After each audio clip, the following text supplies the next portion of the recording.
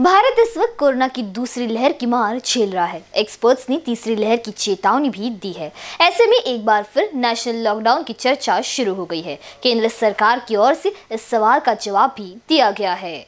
भारत में कोरोना की दूसरी लहर तबाही मचा रही है। ऐसे में क्या भारत सरकार संपूर्ण लॉकडाउन लगाने को लेकर विचार कर रही है? केंद्रीय स्वास्थ्य मंत्रालय द्वारा ऐसी किसी भी संभावना से इनकार नहीं किया गया है। नीति आयोग के सदस्य वी के पॉल ने बुधवार को प्रेस कॉन्फ्रेंस में कहा कि नेशनल लॉकडाउन के ऑप्शन पर भी चर्चा चल रही है। वी के पॉल का बयान इसलिए भी अहम है क्योंकि वह नेशनल कोविड 19 टास्क फोर्स के हेड है।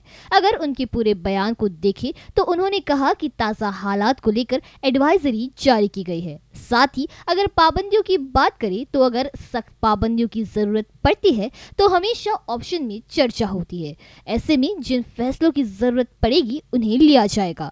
बुधवार की प्रेस कॉन्फ्रेंस में नीति आयोग के सदस्य ने कहा कि राज्य सरकार को पहले ही स्थानीय स्थिति के आधार पर 10 फ़ीसदी से अधिक पॉजिटिव रेट के आधार पर जिलावार पाबंदियाँ लगाने की सलाह दी गई है। देश में संपूर्ण लॉकडाउन को लेकर तब चर्चा हो रही है।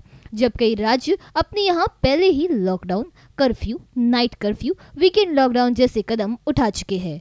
महाराष्ट्र, केरल, राजस्थान, कर्नाटक, दिल्ली, उत्तर प्रदेश, मध्य प्रदेश जैसे राज्यों में पाबंदियाँ लागू है। आपको बता दें कि भारत में जब से कोरोना की दूसरी लहर ने अपना असर दिखाना शुरू किया है, ऐसे में बीते कुछ दिनों से राजनीतिक हलकों के साथ साथ एक्सपर्ट की ओर से भी नेशनल लॉकडाउन को लेकर आवाज़ आनी शुरू हुई है।